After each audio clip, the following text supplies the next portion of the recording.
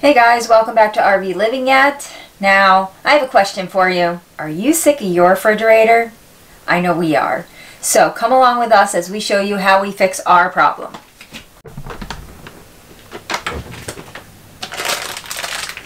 Aw oh, man, killed my lettuce again. This refrigerator. Alright, we're so over this refrigerator as you can see. And it has some pros, don't get me wrong. It is a great boondocking refrigerator. It definitely helps when it switches over to propane. For us, we have the solar. Not a big deal for us. So one of the other reasons why we want this out of here is it's too small and it doesn't keep our food regulated at the proper temperature. So it's time to get, at, get this out of here. Come along with us because we are either going to screw this up royally or we're going to put it in nice and easy. Alright, so when we decided to get the new fridge, first step I took was measure the old one before ripping everything out. So this is a good way to do it with your refrigerator. Just get an idea, uh, basically where this turns into the wood. You don't want to go to the end because you have this little trim piece here, but I put it right at the edge here and right about inside here and I determined that my rough opening was roughly 23 and a half inches and my height did the same thing And my height is roughly 60 and a quarter inches or so. So I know that I need the height and width on the fridge and then I also looked at my depth. That's an important thing. I know on the outside you have the thickness of this wall and to the edge of here I'm looking at 24 and a half inches. So I would need to stay from the body of the fridge um, 24 and a half inches so that I can fit the depth in there. And then we went online and we found a cost-effective refrigerator that fit these dimensions. We end up finding one at Home Depot and we'll show you that one next.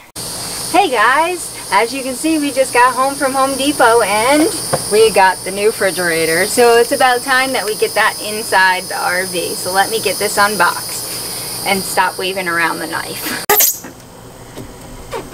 It's just got so much more room. So much more room. Alright, next step, putting it in.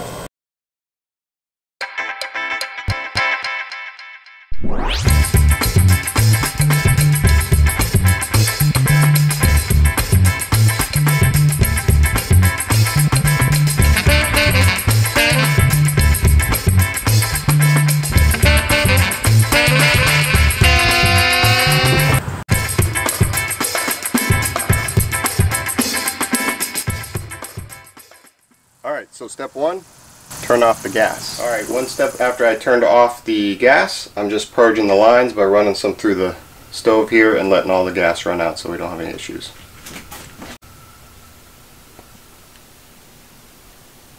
Alright, another step you want to take is pull the 12 volt fuse out for the refrigerator since we're going to be disconnecting those lines and we don't want a short out there.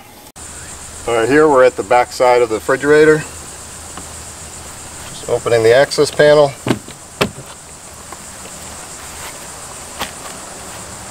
And you can see in here, we got a couple more screws holding the refrigerator in. We have our gas line connection. You have the 120 plug. And we have our 12 volt lines, and these all need to be disconnected. Uh, we have a Norcold, but I'm pretty sure that's the same for a Dometic fridge or any of the standard fridges. I'm going to pop the trim off. There's a couple screws on the front, on the top and bottom, and that's all that's holding the inside. So let's do that.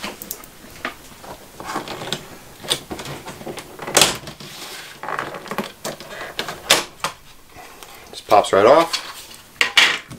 There you got a screw, a screw. And down here we have a screw, a screw.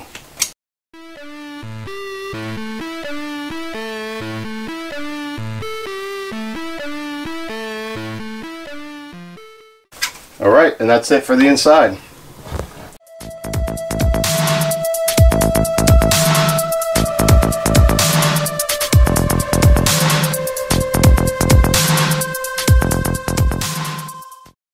I'm going to tape off these connections just to be sure that in case anybody puts a fuse in in the future that they don't go live and short out.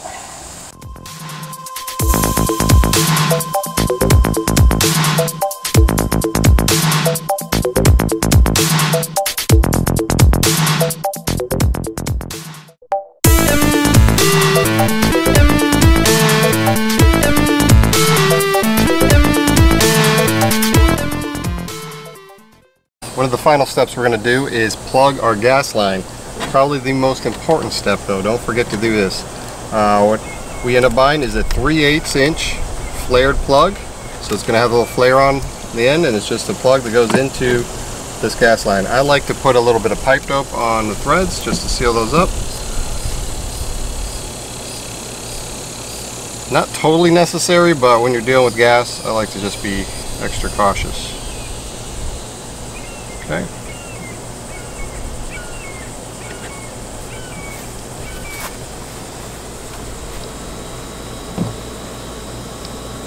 Screw it in and we're going to tighten it up.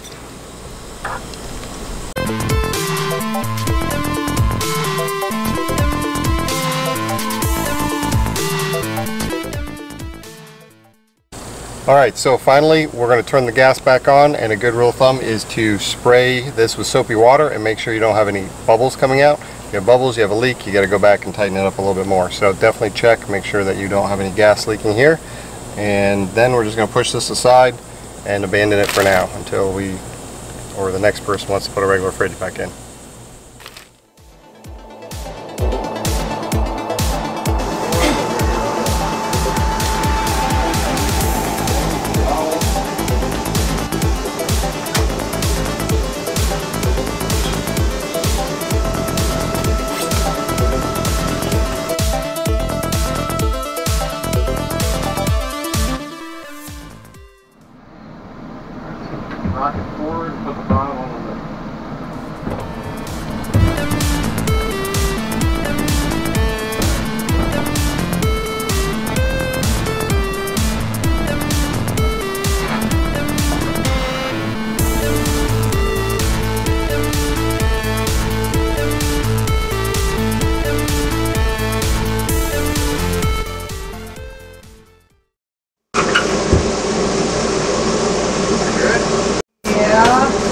So I ended up picking up some of this foam pad. I was looking for some exercise pad or something, but Home Depot had these runners. It's pretty solid, thick stuff. I'm going to put it under the feet of the fridge because these fridges are not designed to uh, for the vibration of going down the road. So something like this is going to dampen that vibration a little bit and it's going to keep it a little bit more stable in there. So I'm just going to cut little squares out of this, slide under all four corners, and that should help out with that.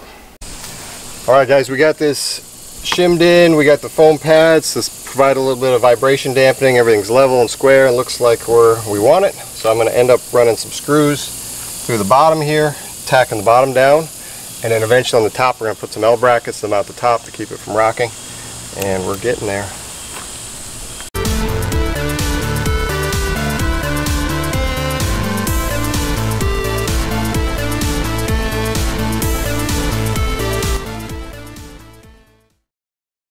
Put some insulation on the top here just to keep the air from getting in. We're still going to have these access panels. We'll let this thing cool down. I'm probably going to leave the back of this open.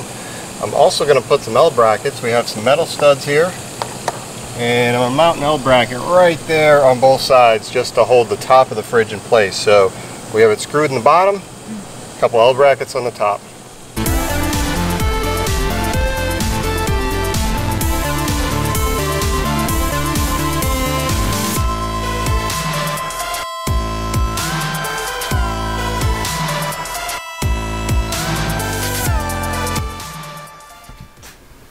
Alright guys, we are done.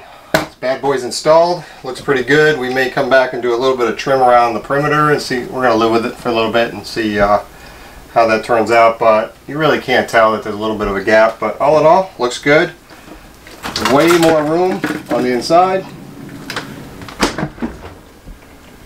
And we got it in there pretty solid, so it's, you know, between the L brackets and screwed to the bottom, I think it's going to be pretty good. And then we put those rubber feet on underneath to absorb some of the vibration going down the road. Uh, again, big things about this is make sure you cap your gas line properly. And we pulled the fuse out for the 12 volt, and then I also taped that off so it's not exposed. So got rid of that stuff, and other than that, it looks good. As far as traveling with this, we have solar and we have a pretty big lithium battery bank and an inverter. So this guy will run while we're traveling. Uh, if you decide on putting a residential fridge into your unit, either whether you're full-time stationary, this is perfect. It uses a lot less energy. Um, If you're traveling short distances, you can go to the campground and back and just keep the doors closed and this thing will stay pretty cool. If you're doing long travel days or boondocking like us, again, we got the inverter, the lithium batteries, and the solar on the roof, so it's going to run. I've done some calculations and I'm going to verify that as we live with it, that this should run about 34 watts an hour, which is really nothing. And I think that's on a consistent basis. Obviously, there's going to be times where the compressor kicks in and it's going to run higher.